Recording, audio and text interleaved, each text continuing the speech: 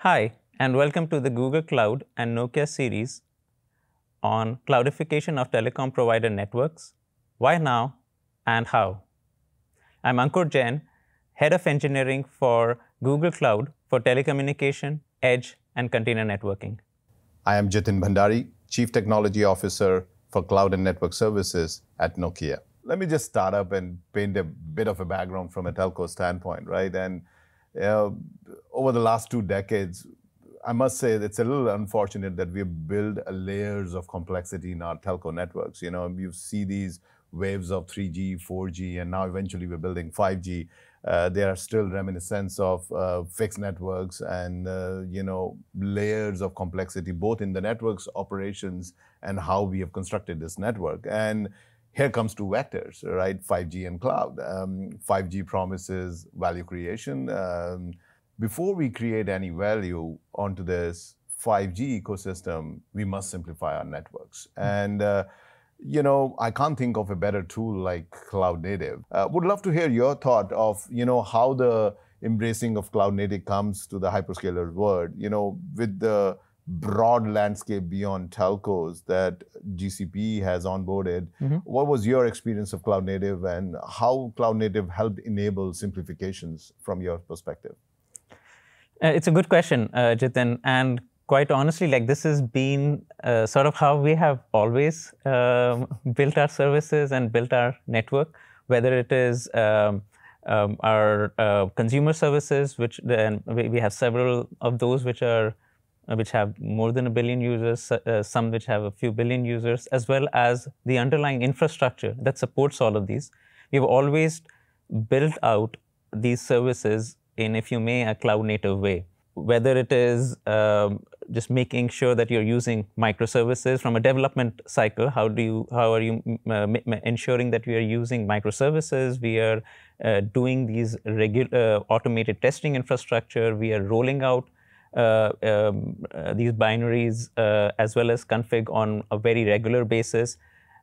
we have the right mechanisms for canarying, ro rollback, etc. Like th this is this is, uh, and then how um, ensuring that we're getting the telemetry, we are getting, um, we have the SRE practices, we have these uh, disaggregated platforms. Like this is sort of how we have built all of uh, our infrastructure over the years. I, I, feel like you know this is this is home ground for GCP. Mm-hmm. You know, I would like to first go on on our chapter one for cloud native, which is all about creating platform agnostic networks and operations and and this has been a challenge because it's it's two layered, right? A the movement of cloud with edge far edges, dis- dis- disaggregated cloud, as we say it, um, and then uh, the building of these workloads, which we realized a few years back that needs to be agnostic to sort of an any cloud uh, game plan if you want to give that degrees of freedom and choice of the platform. Do you guys think the same way? You know, when when you build these ecosystems of platforms,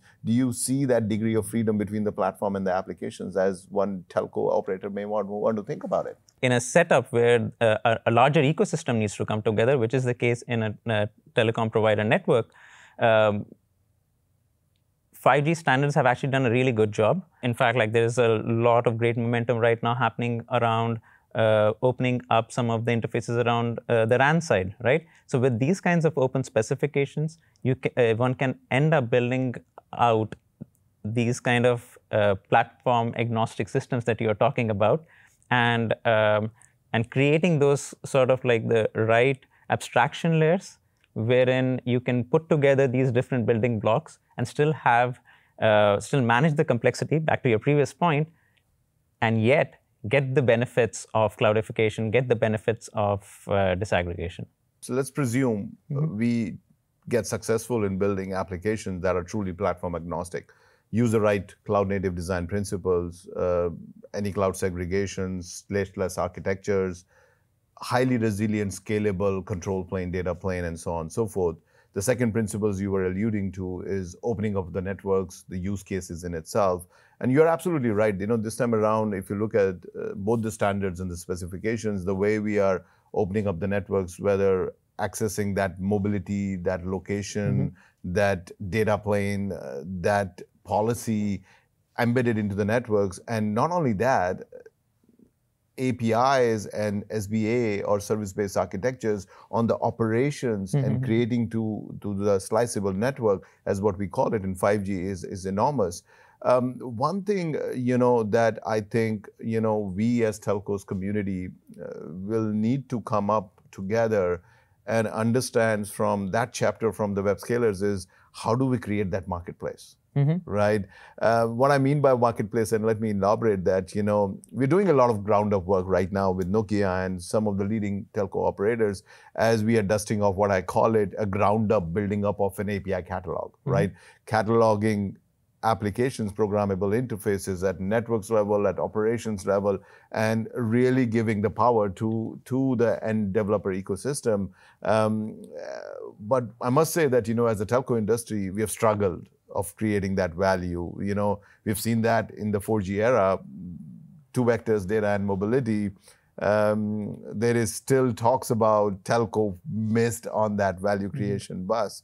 Uh, this time around, uh, we are more determined, right? Mm-hmm. Um, both for operator stand-up point of view, if if investment cycles of 5G has to be about value creation, yes, we are simplifying the networks using cloud native principles yes, we are opening up the networks with open APIs. It all converges into the marketplace. What's what's your viewpoint about that? How how do we approach this game differently this time around? We are working with pretty much everyone that you can think about, uh, whether it's the as you were mentioning, whether it is the uh, the the silicon uh, players, whether it is um, um, uh, on the RAN side, accelerators uh, that you can think about, whether it, uh, whether it is GPUs, TPUs. We have a very rich ecosystem around building. And by the way, whenever I'm talking about each of these um, components, if you may, there's a rich software ecosystem that uh, is built around each of these with the uh, with the clear specifications that have come up with uh, with 5G standardization as well as the ecosystem has, as it has now developed around people uh, actually uh, implementing to those uh, open APIs the ability to now introduce a lot more openness in the ecosystem has come in and definitely to the advantage of our of our customers and and our and their eventual customers I absolutely concur with that. And I agree, you know, some of the experiments and some of the successful outings we have done recently, say in the private mm-hmm. network space or private wireless space, specifically for that use case, the amount of ways the ecosystem mm-hmm. have come in from applications from Nokia and enabling mm-hmm. on, on, on a specific uh, you know radio capabilities on a specific verticals like mining or mm-hmm. healthcare mm-hmm. has been phenomenal so no this is great uh, thank you ankur for your insights and this has been a fun conversation absolutely thank you Thanks for catching our discussion on cloudification of networks. We'll see you next time in the cloud.